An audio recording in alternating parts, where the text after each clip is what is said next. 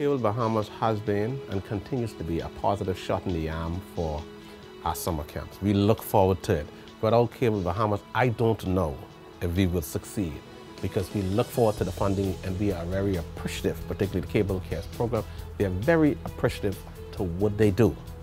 We thank the Cable Cares Foundation, which would have given into this program, and it's going to pay dividends in the long run because each one of these children are affected. Well, Cable Bahamas Foundation has helped us in a huge way. We are out there looking for all kind of help. And I am so happy that uh, the Cable Foundation didn't decline us based on the economy and what is going on today.